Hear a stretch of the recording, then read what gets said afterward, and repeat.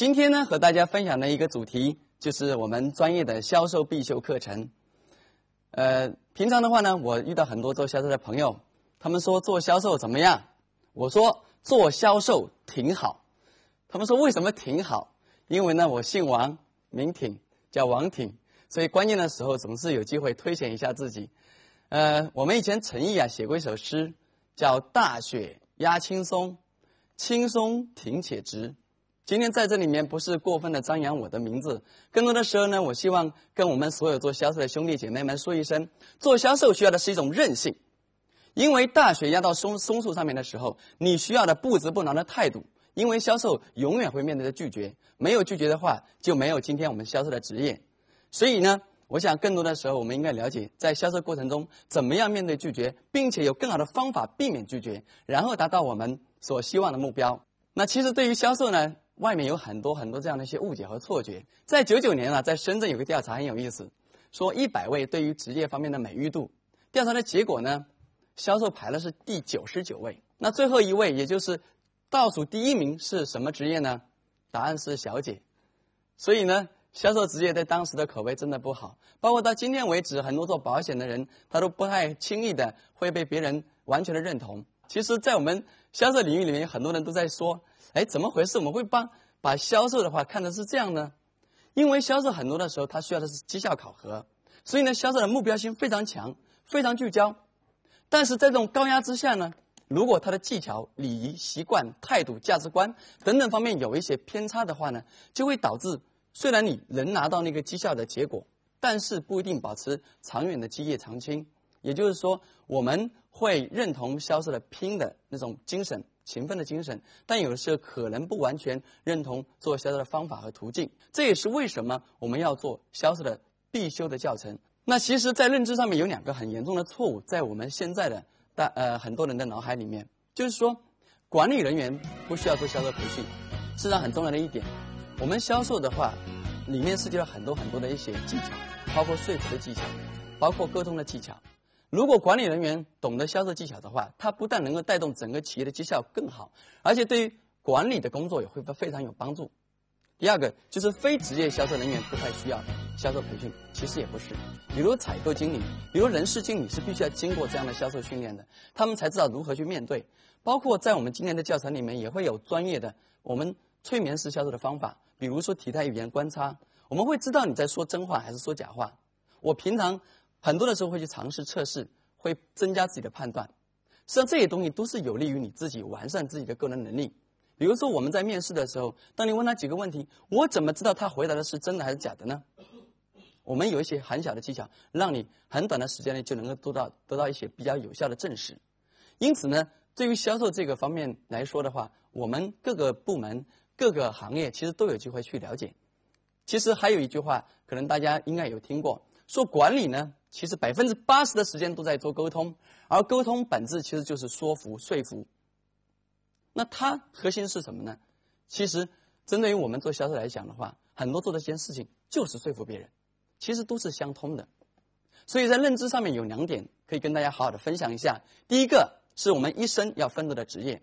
在座各位，当我们小的时候，我们会用哭声去换得奶水，我们会推销我们的哭声；稍微大一点的时候呢，我们会推销自己赖皮换得玩具。我们稍微再大一点的话，我们会推销我们的乖巧，换得老师的赞赏；再大一点的话，我们会推销我们的爱情，得到我们的伴侣。你会知道，作家会推销自己的作品的。我们冯小刚导演的话，他会推销自己的电影的。这都对所有的东西，我们都在做一件事情，就在推销。今天，如果你的老板找你聊天的时候，很简单，他在推销你的思想。如果今天你跟你的孩子在做很强的沟通的时候，你也在推销你的一些理念。所以，我们一直在注重呢，也是一生奋斗的职业，其实就是销售。本质上来说，而且销售是我们与生俱来的本领。第二个呢，就是我们的叠加战略品牌，也就是说，在我们认知第二这里面，就是我们一生在塑造一个品牌。不管你是在 A 公司、B 公司、C 公司，永远记得一件事情，就是你就是你。比如今天我是王婷，我在为一家企业做工的时候，我。代表企业的同时，我也代表我自己。否则的话，王挺走了，李挺、张挺、陈挺，那是不是没有差别的差别的呢？所以很重要的一点，只要是做销售的同呃同事朋友们，我们必须要理解，我们必须要建立自己的品牌，因为除了企业的品牌，还有一个是你自己自己的品牌，这样的话，你的叠加品牌效应才会更加彰显。讲到这里面，我要把今天大纲和大家做一个小小的报告。首先呢，我们要知道由内我们怎么样去提炼自己，比如说拒绝背后的原因，然后塑造自我的信心，包括我们的心态，怎么样建立良好的心态，再加上我们的礼仪以及销售的途径，这些都是我们在做销售之前，我们自己要增加我们的内功的。然后呢，我们把这方面锻炼好了，在对外往前面推进的时候，我们就要知道哪些是专业销售流程。包括如何介绍产品，如何说服别人，还有对待抗拒的一些办法。当然，还有一个很重要的就是大客户销售技巧。我们讲完这十讲之后，还有两讲，就是我们赢得销售的总结，所有我们的精华，还有加上一个基业长青的保障。销售人员最大的困扰就是每天面对客户的拒绝，要解决这个问题，首先要分析拒绝背后的原因。它有四个方面的内容，第一个是内心恐惧，第二个是自我设限，第三个是思维定式，第四个就是认知的失衡。那首先我们进入第一讲，叫拒绝背后的原因。大家都不太希望面临的拒绝，那我们先来了解为什么有的时候我们会被拒绝。它有四个方面的内容，第一个是内心恐惧，第二个是自我设限，第三个。是思维定式，定势，第四个就是认知的失失衡。那我们首先来看一下内心恐惧。事实上呢，我们看到很多很多东西，对自己的话不太了解，就不敢不敢轻易的尝试。你们有没有看到，如果是店面销售的时候，当有一个人走过来的时候说：“先生，您要什么呢？”他马上说：“哎，我看看。”如果呢，你跟着他走的时候，他就会觉得特别特别的压力，走一会儿他就只离开店面了。是什么原因让他们有恐惧呢？从心理学的角度来讲的话，恐惧总是发自于内心的紧张。比如说，我们来做个试验。这时候各位大家有看到，这是一个火柴棒，OK。这个火柴棒如果燃烧起来的话，它的燃点是很高的。请问一下，你能敢把燃烧的火柴棒放在嘴里面吗？你们可能想到一件事情：哇，这个会很烫人的。哇，这个万一灼伤了怎么办？当你想了这么多的时候，你的体态语言就会这样，就会这样，你会这样，这些体态语言就会告诉我你在心里紧张。如果让你在试的时候，你就会很有压力，而这种压力之下的话，你是很很容易犯低级错误的。你没有准备好的话，你就真的容易被灼伤了。实际上，火柴棒本身并不那么恐怖。当然了，如果是小朋友看到这个，不要轻易的模仿。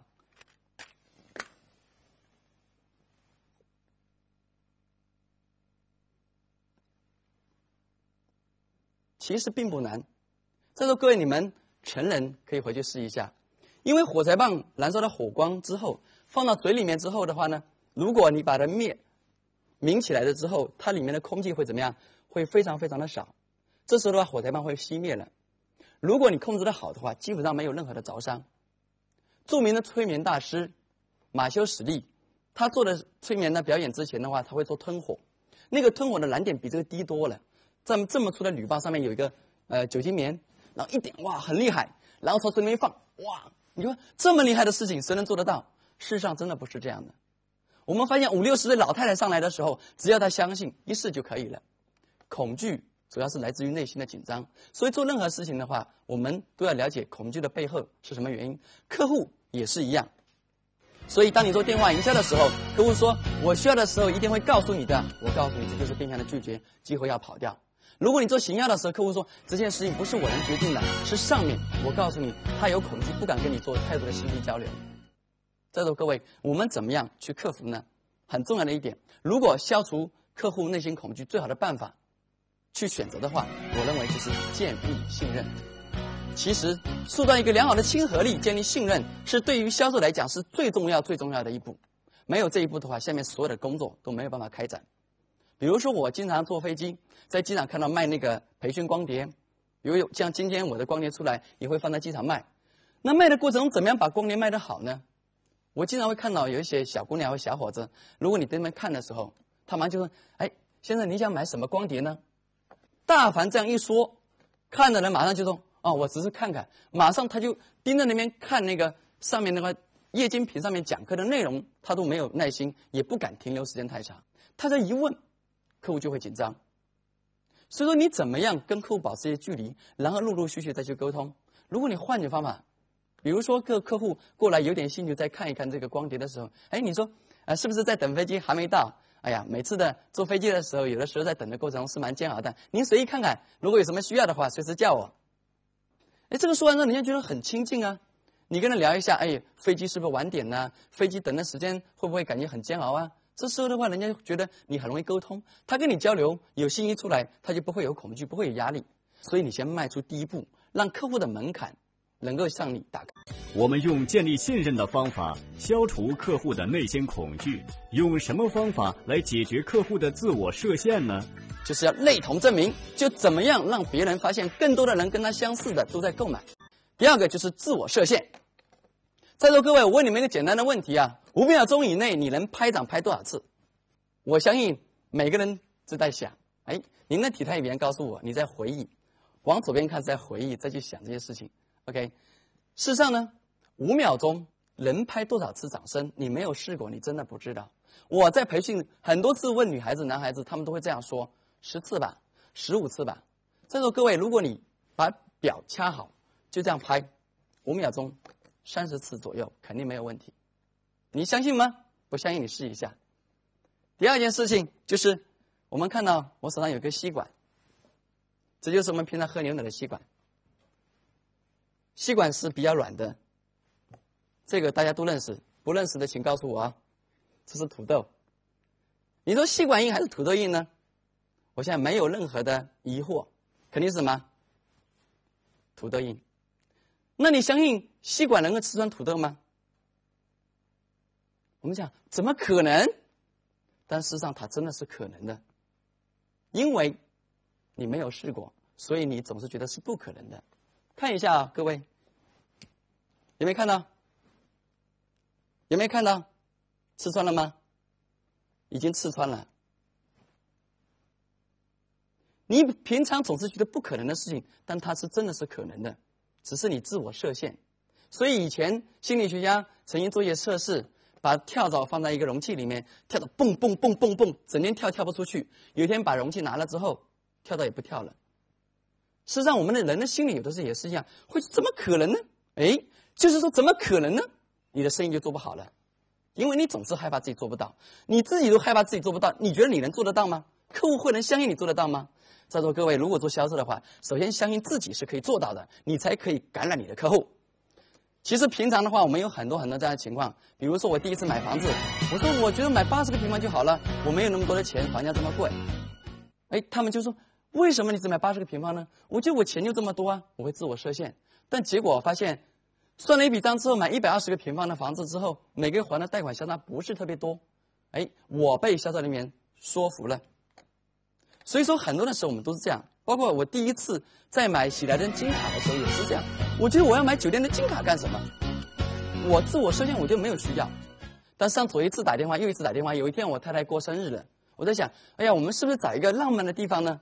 想来想去，哎呀，我们怎么能睡在家里面嘛？找个浪漫地方睡在外面会更好。马上就想到，哦，喜来登的房间应该不错，我就去买了。如果没有人打电话给我，如果不是喜来登打电话给我，你觉得我有机会买吗？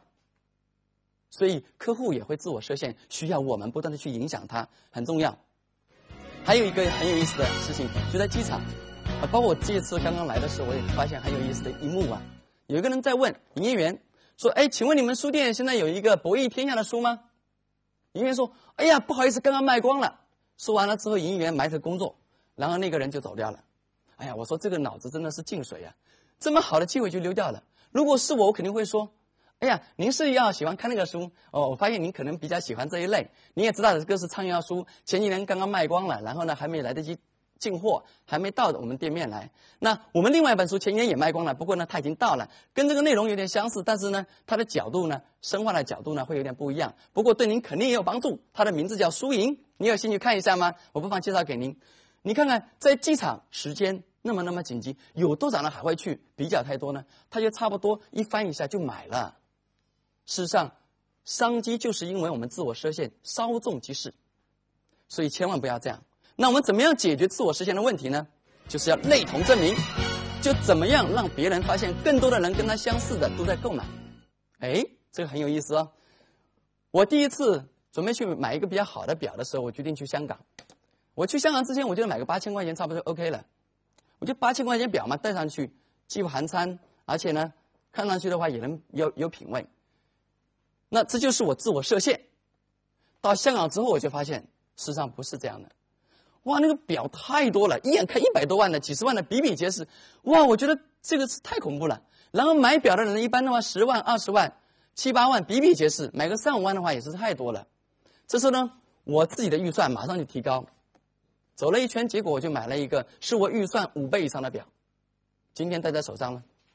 哎，那你说是什么原因呢？因为你看到很多人都在买，这个其实什么？就是类同。那么多人跟我差不多人都在买，为什么我不买？所以说你要培养这种情绪给他们，会营销也是比较有效的方法。有机会你们可以了解会营销是怎么样突破我们的客户的自我设限的，因为本身客户。他自我设限的状态需要你去协助他的。消费者一旦形成思维正式，就很难突破。解决这个问题的最好方法就是体验式消费。首先呢，要让他尝试一下，让他消费的过程中，尝试的过程中觉得蛮不错的，就能打破他的思维定式。那讲到这里面的话，我们接下来分享第三个叫思维定式。讲到思维定式啊，我们先来看一看比较有意思的一个图片。我们来看一下我们的屏幕。屏幕上面呢，有一位女士叫旋转的美女。您觉得她是在往左边转呢，还是在往右边转呢？告诉大家，大部分女孩子看到的可能会是往右边转，就是顺时针；大部分的男孩子看会是往左边转。也就是说，你既能既可以把它看成往右边转。顺时针也可以把它看成往左边转，逆时针。如果你看不出来，多花点时间。因为人呢，思维模式很奇怪的，有的人喜欢用右脑，有的人喜欢用左脑，左脑右脑思维的方式就有很大的差异。我们女士一般是很感性的，所以经常会用右脑，会加上很多联想；而男士的话很多是记忆和逻辑，所以左左脑会看得更多一点。所以呢。我们有的时候在思维上面本身就有很大的差异，所以我们不能怪客户说你怎么就看不出来呢？你怎么就不知道呢？你直接冤枉客户。你有本事让客户能看出来，那就叫你的厉害喽。所以我们经常、经常、经常那个抱怨说我的东西很好啊，为什么你搞不定、看不出来呢？我的价格其实不贵呀。其实啊，当你如果接下来再说一句话说，其实我价格不贵，一分钱一分货的时候，我告诉你，你呢就是在骂客户是猪头。谁不懂一分钱一分货？那客户真的看不出来呀，就像我刚刚给大家看的图片一样，你自己看的也是往左边的或者往右边的，那人家看的是跟你截截然相反。你有没有办法让别人能看得到？很重要。所以思维定式的话，影响很多销售的情况。比如说李书福，吉利汽车的总裁，他在参加对话节目的时候，他现场就把脚翘起来说：“那我李书福买的鞋子就是八十块钱以内的，我已经穿了五年了还这么好，说我就要做最实惠的。”产品，那你想你要改变它很难哦，思维定式啊。还有，比如说我们针对于一些补品的看法，有的人从来不相信补品的，他们觉得补品根本不好，更多的时候会相信食补，就是吃食物。这些思维定式怎么样去突破呢？其实很重要的一种方法就是体验式消费，我们称为小小葛模式。我们各位观众，我们记了一件事情。我们经常到我们一些大型的商场里面会看到，会让你试穿衣服，特别是化妆品，会让你试一下，涂在脸上，哎，不错，蛮好的。然后睫毛啊，包括做指甲的，有的时候也会。你想想，那指甲要是十个，你要轻易的听从他的想法的话，做了一个，你剩下九个不做吗？小小个模式很有意思哦。如果你使用了一点点化妆品，唇膏用了一点点，你觉得还不错的话，你是很容易再往下面迈一个台阶去购买。所以呢，我们要不要让客户有压力？首先呢，要让他尝试一下，让他消费的过程中，尝试的过程中觉得蛮不错的，就能打破他的思维定式。怎样调整客户的认知失衡？我们有良好的这种方法，就是价值引导，聚焦、聚焦再聚焦，你就可以搞定你的客户了。我们的客户和你都是双赢的。好，接下来我们分享第四个，叫认知失衡。认知失衡呢，其实就很有意思了。也就是说，针对于我们平常经常看到的，比如说魔术，它就是一个认知失衡。那有些魔术在现场没有办法和大家表现出来，但是我可以用个简单手法的东西，可以让大家看到认知失衡是什么样一个状况。刘谦和另外两位著名的魔术师，他们在一次讨论中得出一个结果，就是在看魔术的观众的心理里面，总是有一个认知迷幻的效果。它是什么呢？比如说，各位看我手上有一块硬币，这是正宗的硬币啊，一块钱的。那待会呢？我说把这硬币放到嘴里面，然后从后面拿出来，